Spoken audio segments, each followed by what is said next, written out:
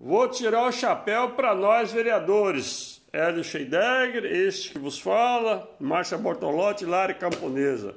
Pois hoje, 3 de abril de 2023, na Câmara Municipal, sessão extraordinária, nós não votamos a favor de um projeto de resolução que cria 20 até 20 cargos, vagas de estagiários na Câmara Municipal de Rio Novo do Sul Espírito Santo. A carreta furacão passou por aqui.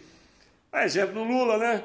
Que abriu aí 14 novos ministérios para acolher a companheirada. Aqui em Rio Novo do Sul está seguindo o exemplo.